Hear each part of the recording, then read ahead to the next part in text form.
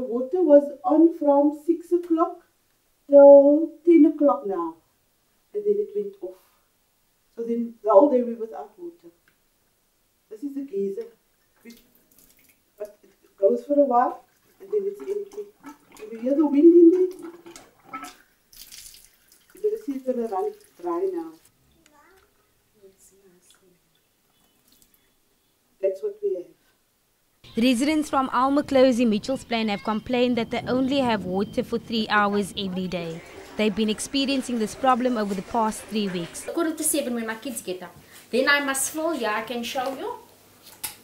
My bucket that I fill. That's for the day.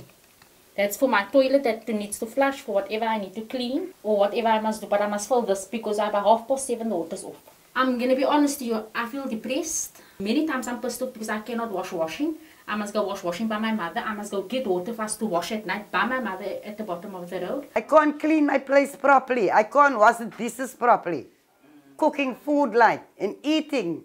I can't do that because there's no water. Without water, we can't do anything. What I paid the previous month, 45 rand. Now, how can this be? Also, also estimation. Multiple residents have sent numerous complaints to the city of Cape Town. We've got people in the community that works, that goes to work 5 o'clock already. And when they leave, no water. When they come home, no water. It's frustrating.